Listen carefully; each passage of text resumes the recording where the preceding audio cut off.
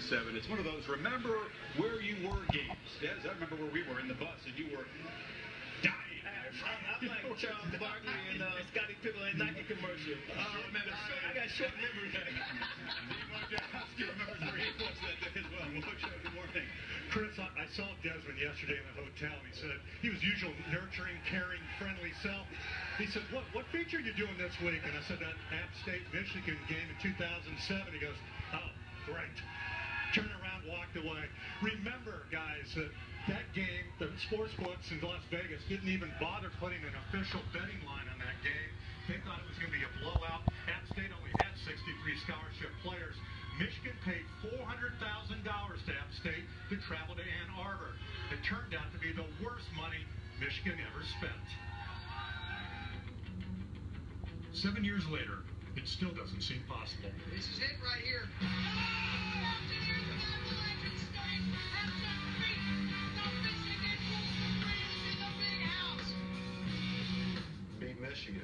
Brought down the big house.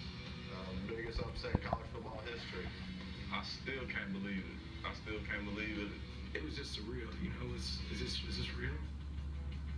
Did we just lose? The greatest upset in college football history almost didn't happen.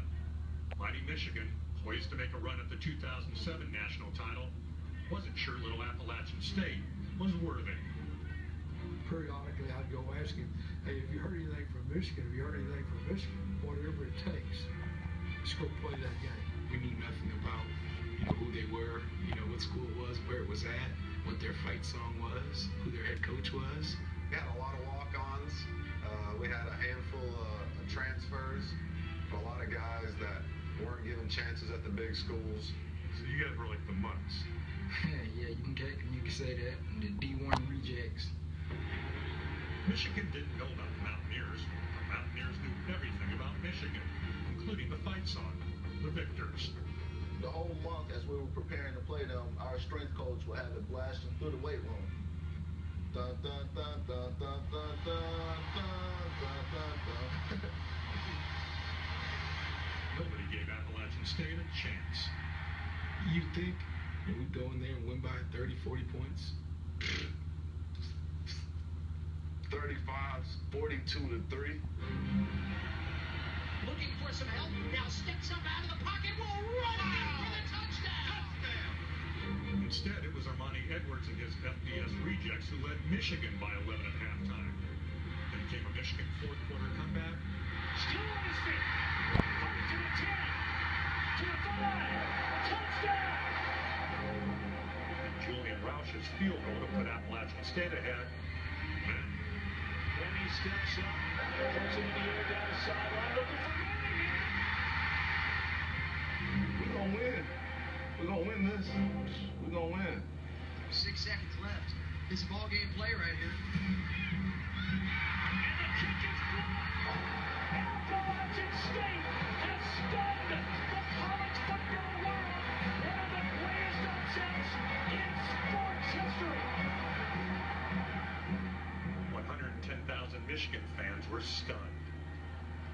Complete silence. Shocking. You can hear a penny drop. You would never think you could hear a stadium, you know, that quiet. 15 players from that Michigan team were eventually drafted by NFL teams. Meanwhile, Kevin Richardson works on a NASCAR pit crew. Rauch flips houses and kicks in the arena football league.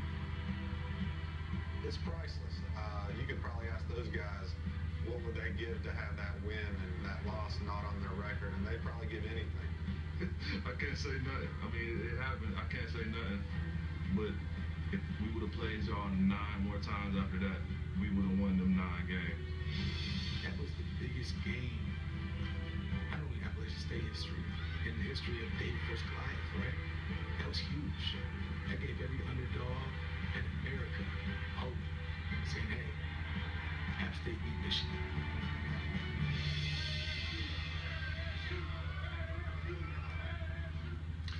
This time there is a actual line in Vegas, 33 and a half points. Michigan is favored. And this time Appalachian State is getting $1 million.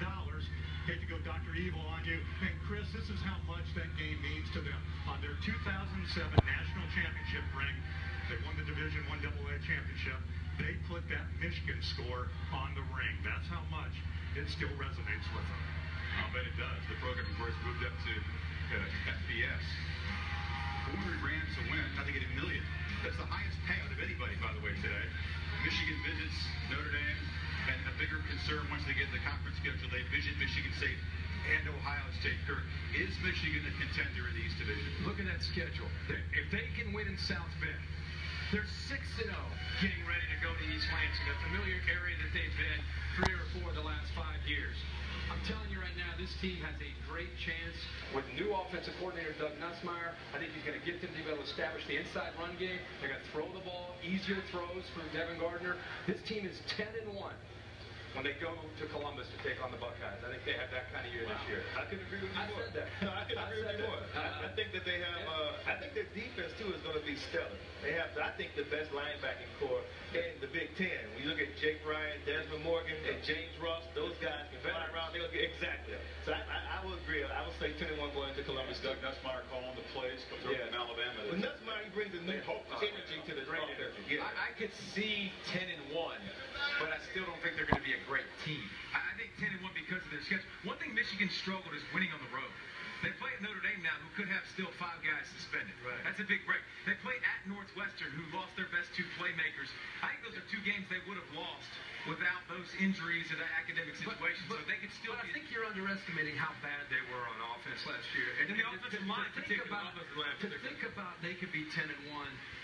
I just, it's a school with pride, and when you when you get to six and zero or you get to ten and one, that becomes a dangerous football team because of the DNA and the type of kids that they. So I, I know they don't play a great schedule, but I think they're going to be a better team than people think. That's me. Just They got to get a lot better on the offensive line. That's really concerning. No I mean, because you talk about their best part of their offensive line last year were the tackles. They both Yeah, got drafted. right. The The inside inside people. people. So the And they got inside young guys on the on, the, on the outside. outside So I don't think it's an. O line that's going to push everybody else. I think they're going to play a lot of close games. Ten and one.